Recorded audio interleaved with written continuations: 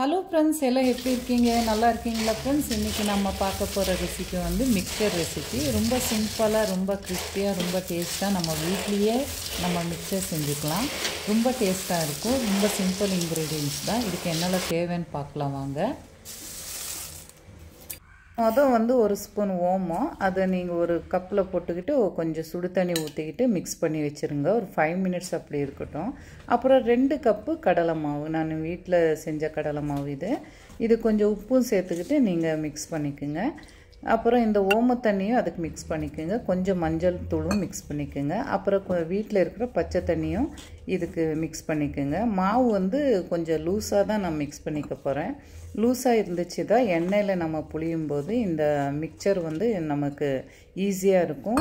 அப்புறம் கையும் சுடாது. கொஞ்சம் டைட்டாக இருந்துச்சுன்னா கொஞ்சம் கஷ்டமாக இருக்கும் எண்ணெய் பக்கத்தில் நம்ம வேலை செய்யும்போது. பாருங்கள் மாவு இந்த மாதிரி கொஞ்சம் லூஸாகவே மிக்ஸ் பண்ணிக்கோங்க. பாருங்கள் இது கரெக்டாக இருக்குது இப்போ நீங்கள் உங்களுக்கு அது கையில் தொடுறதுக்கு கொஞ்சம் சாஃப்டாக இருந்துச்சுன்னா இப்போ எண்ணெயை கையில் மிக்ஸ் பண்ணி அப்ளை பண்ணிக்கிட்டு இப்படி மாவு எடுத்துக்கிட்டு நீங்கள் உங்களுக்கு எவ்வளோ தேவையோ அந்த மாதிரி இப்படி எடுத்து வச்சுக்கோங்க. இப்போ நம்ம இந்த மிக்சர் புளியிறோம் இல்லையா இந்த ப்ரெஷரில் நம்ம இந்த மாவை எவ்வளோ தேவையோ அவ்வளோ எடுத்துக்கிட்டு ரெடி பண்ணி வச்சுக்கோங்க. இப்போ மீடியமாக சூடாக இருக்கிற ஆயிலில் வந்து நீங்கள் இந்த ஓம் மிக்சரை வந்து நீங்கள் இப்படி புழிஞ்சு விடுங்க பாருங்கள் இந்த மாதிரி புழிஞ்ச உடனே நீங்கள் டச் பண்ணாதீங்க. ஒன் சைடு வந்து நல்லா வெந்துடட்டும் இப்போ பாருங்கள் ஒன் சைடு வெந்த உடனே இன்னொரு சைடுக்கும் நீங்கள் அதை திருப்பி விடுங்க. பாருங்கள் ரெடி ஆயிடுச்சு. ஃபயர் வந்து மீடியமில் வச்சுருந்தீங்கன்னா உங்களுக்கு கலரு நல்லா இருக்கும் நல்லா கிறிஸ்பாக வெந்திருக்கும். பாருங்கள் இது ரெடி ஆயிடுச்சு. இதை நீங்கள் எடுத்து வச்சுக்கோங்க. நெக்ஸ்ட்டு அந்த மாதிரியே நீங்கள் இந்த மிக்சரை வந்து இப்படி புழிஞ்சு விடுங்க. உங்களுக்கு எண்ணெயோட ஓசை அடங்கின உடனே நீங்கள் எடுத்துக்கிட்டிங்கன்னா ரெடியாக கரெக்டாக இருக்கும். பாருங்கள் இந்த மாதிரி இருக்கிற மாவு எல்லாத்தையும் நீங்கள் புழிஞ்சி எடுத்து மிக்சராக பண்ணி எடுத்து வச்சுக்கோங்க. சோம மிக்சர் ரெடி ஆயிடுச்சு. இப்போ நம்ம அடுத்தது கார பூந்தி செஞ்சுக்க போகிறோம் ரெண்டு கப்பு கடலை மாவு கால் கப்பு அரிசி மாவு சேர்த்துக்கிட்டேன். இதுக்கு ஒரு டீஸ்பூனு ரெட் சில்லி பவுடரு அப்புறம் வந்து இந்த மாவுக்கு தேவையான அளவுக்கு உப்பு போட்டுக்கிட்டு நல்லா மிக்ஸ் பண்ணிக்கோங்க. அப்புறம் இந்த மாவுக்கு தேவையான அளவுக்கு தண்ணியும் சேர்த்துக்கிட்டு நல்லா மிக்ஸ் பண்ணிக்கோங்க. மாவு வந்து கொஞ்சம் ரொம்ப கெட்டியாகவும் வேண்டாம் ரொம்ப தின்னாகவும் வேண்டாம். நம்ம மாமூலியாக தோசை ஊற்றுறோமெல்லாம் வழக்கமாக அந்த மாதிரி எடுத்துக்கோங்க. பாருங்கள் இந்த மாதிரி எடுத்துக்கிட்டு நான் ஒரு வேறு ஒரு பவுலுக்கு எடுத்துக்கிட்டேன். போடுறதுக்கு ஈஸியாக இருக்கும்னு. இப்போ மீடியம் சூடாக இருக்கிற எண்ணெயில் இந்த கார பூந்தி போடுற இந்த கரண்டியில் நீங்கள் இந்த கார பூந்தி மாவு இப்படி போட்டு நல்லா இப்படி சுற்றி விடுங்க.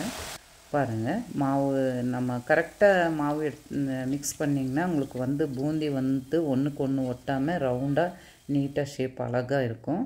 இது வந்து எண்ணெயோட ஓசை அடங்கின உடனே இது வந்து நல்லா கிறிஸ்பியாக வெந்திருக்கும். பாருங்கள் இதையும் நீங்கள் ரெடி பண்ணி எடுத்து வச்சுக்கோங்க. மீதி இருக்கிற மாவு மாவுலேயும் நீங்கள் கார பூந்தி கொஞ்சம் கொஞ்சமாக செஞ்சு எடுத்து வச்சுக்கோங்க. ஃப்ரெண்ட்ஸ் இப்போ கார பூந்தி ரெடி ஆயிடுச்சு. பாருங்கள் எவ்வளோ அழகாக நல்ல முத்து முத்தாக இருக்குது. ஃப்ரெண்ட்ஸ் நான் இப்போ எண்ணெய் சட்டியை மாற்றிக்க போகிறேன் கொஞ்சம் ஈஸியாக இருக்கும். மிச்சம் இருக்கிற பொருளெல்லாம் நான் வந்து ஃப்ரை பண்ணுறதுக்கு கொஞ்சம் ஈஸியாக இருக்கும். உங்களுக்கு எப்படி சௌரியப்படுது அந்த மாதிரி செஞ்சுக்குங்க. ஃப்ரெண்ட்ஸ் அடுத்ததாக வந்து ஒரு கப்பு மக்காச்சோளம் சிப்ஸு ஒரு கப்பு வந்து திக் அவல் இது நம்ம கடைசியில் தான் ஃப்ரை பண்ணிக்க போகிறோம் இப்போ போட்டிங்கன்னா உங்களுக்கு ஆயில் வந்து வேஸ்ட்டாக போயிடும் ஒரு எழுபது கிராமு கேஷ்யூ நட்டு முந்திரி பருப்பு நான் இந்த ஆயிலில் போட்டு ஃப்ரை பண்ணிக்கிட்டேன். ஒரு கப்பு வந்து நிலக்கடலை க க கடலை கொட்டைன்னு சொல்கிறாங்களே இது ஒரு கப்பு இதுவும் ஃப்ரை பண்ணி எடுத்து வச்சுக்கோங்க.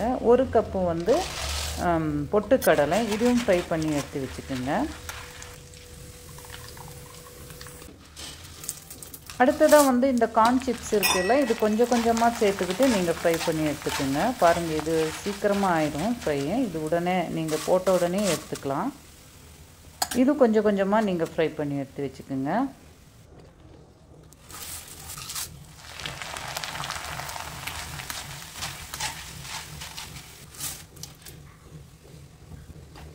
இப்போ அடுத்தது வந்து நம்ம இந்த திக் அவல் இருக்குல்ல ஒரு கப் அவல் எடுத்துருக்குறோம். அது கொஞ்சம் கொஞ்சமாக நீங்கள் ஃப்ரை பண்ணி எடுத்து வச்சுக்கோங்க. அவல் உங்களுக்கு போட்ட உடனே ஃப்ரை ஆகிடும்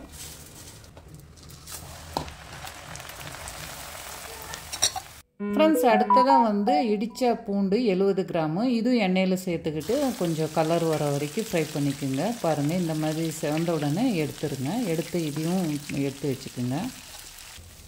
அடுத்ததாக கடைசியாக வந்து ஒரு பிடி கருவேப்பிலை. இதுவும் கொஞ்சம் கொஞ்சமாக எடுத்து எண்ணெயில் போட்டு ஃப்ரை பண்ணிக்கோங்க.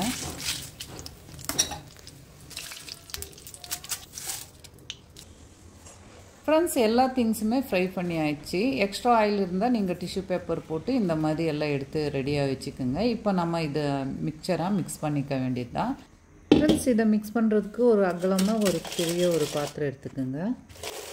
வச்சுக்கோங்க. அதில் இந்த ஓமப்பொரி மிக்சராக வந்து மொதல் இதில் போட்டுக்கிட்டு நல்லா உடச்சி மிக்ஸ் பண்ணிக்கோங்க. இப்போ நம்ம ஃப்ரை பண்ணதை ஒன்று ஒன்றா இதுக்கு மிக்ஸ் பண்ணிக்க போகிறோம் மொதல் வந்து கார பூந்தி அப்புறம் வந்து அவுள் அப்புறம் கார்ன் சிப்ஸு அப்புறம் வறுத்த வேர்க்கடலை அப்புறம் வறுத்த பொட்டுக்கடலை இந்த பூண்டு அப்புறம் முந்திரி பருப்பு ஒரு டீஸ்பூன் வந்து தனி மிளகா பொடி இது வந்து உங்களுக்கு காரம் எவ்வளோ வேணுமோ அவ்வளோமா சேர்த்துக்குங்க. குழந்தைங்க இருந்துச்சுங்கன்னா கொஞ்சம் கம்மியாக சேர்த்துக்குங்க. அப்புறம் இந்த இந்த மிக்சருக்கு கொஞ்சம் உப்பும் சேர்த்துக்குங்க. அரை டீஸ்பூன் உப்பும் சேர்த்துக்குங்க. ஏற்கனவே நம்ம வந்து கொஞ்சம் கார பூந்தி அப்புறம் மிக்சருக்கு உப்பு சேர்த்துருக்குறோம். இப்போ நம்ம கடைசியாக வந்து கொஞ்சம் உப்பு சேர்த்துக்குங்க. இப்போ எல்லாமே மிக்ஸ் பண்ண உடனே பாருங்கள் உங்களுக்கு ஒரு ரொம்ப டேஸ்ட்டாக ரொம்ப சிம்பிளாக ஒரு அழகாக ஒரு மிக்சர் ரெடி ஆயிடுச்சு. கடைசியாக வந்து இந்த கருவேப்பிலையும் சேர்த்துக்கிட்டு மிக்ஸ் பண்ணிங்கன்னா ரெடி ஆயிடுச்சு ஃப்ரெண்ட்ஸ் ஃப்ரெண்ட்ஸ் இந்த வீடியோ பிடிச்சிருந்தால் லைக் பண்ணுங்கள் ஷேர் பண்ணுங்கள் கமெண்ட் பண்ணுங்கள் சப்ஸ்கிரைப் பண்ணுங்கள் okay thank you bye bye